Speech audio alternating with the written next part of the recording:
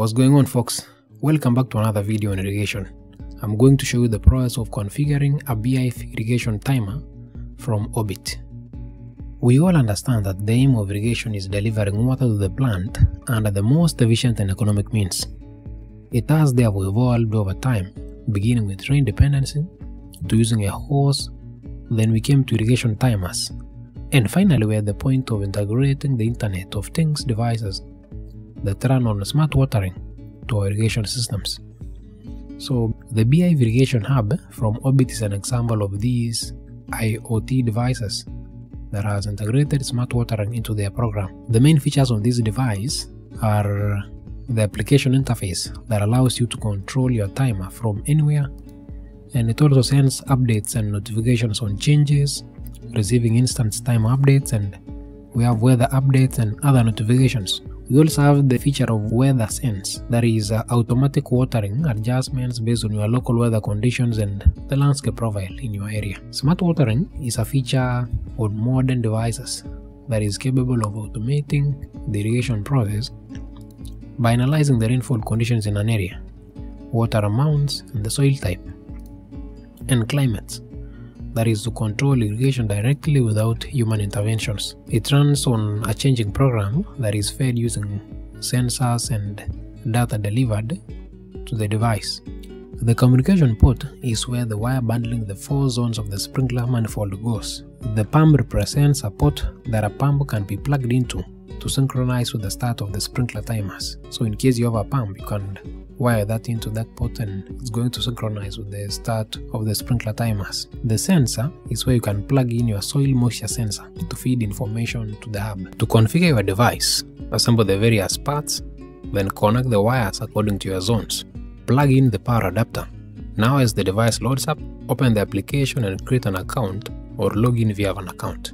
Once you have your account set up, add your device to the account by pairing through Bluetooth and this will enable the device to connect to a 2.4 GHz wireless network of your Wi-Fi. To do this, you are presented with two options.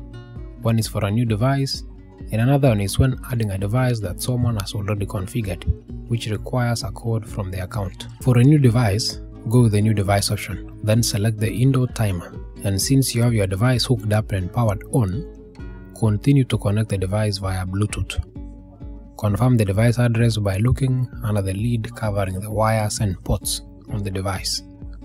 Once you are done with that, the connection proceeds and lists the network connection available. Select your Wi-Fi and connect. Once complete, it is going to update the device firmware. The next thing you are presented with is the page to configure the zones that you have set up on your yard. Select the zones you have installed. It is going to test them for device functionality.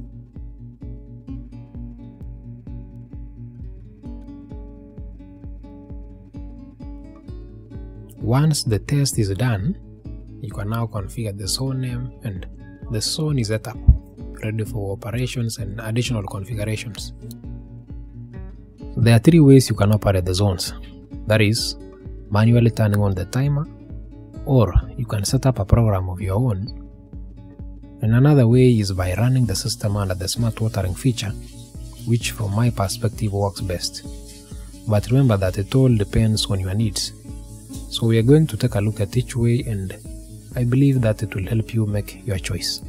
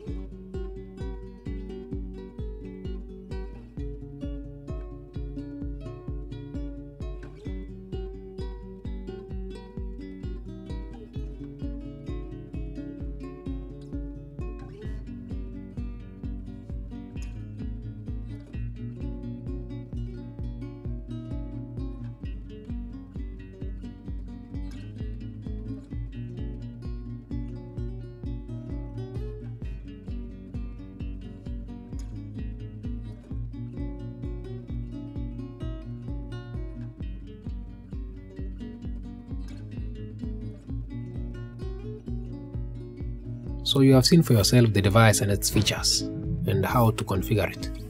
If you are looking for something that you can control from anywhere through an application interface with a smart watering ability and weather sense, give a try to this device. I hope this video will give you a hint of what you're going through and help you in your decision making process. As always, thank you for watching. And if you love the content, hit that like button and subscribe to the channel for more home DIY solutions.